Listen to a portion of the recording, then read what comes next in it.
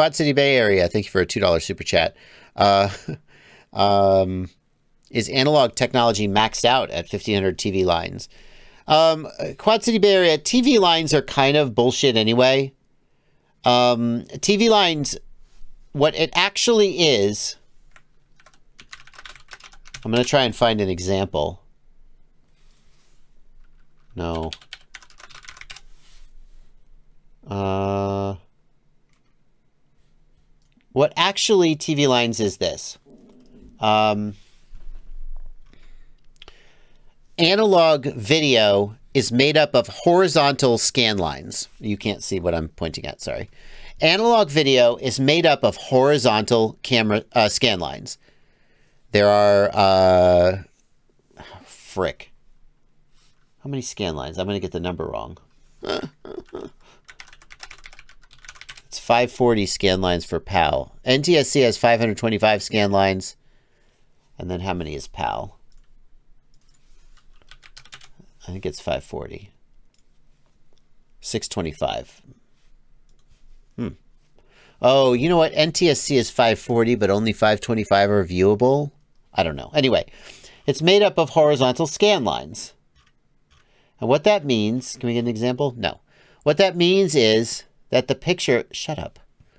The picture is scanned ver, uh, 525 lines, and that's all the resolution you get. Okay?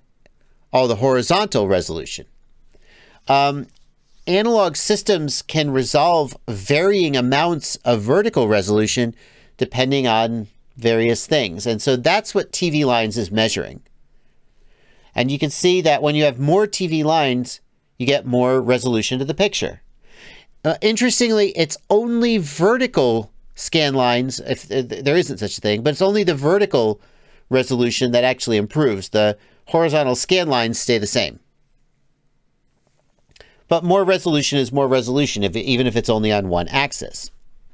So technically, the correct way to measure the scan lines of a system is to point a camera at a test pattern and measure how many vertical lines you can actually resolve.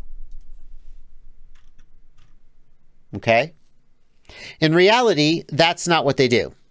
In reality, what they do is Sony sells a sensor. Sony says that the sensor is 700 TV lines. Who knows how Sony derived that number?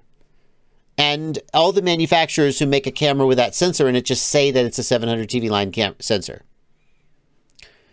The other thing to keep in mind is that the TV lines is a function of a fully analog system.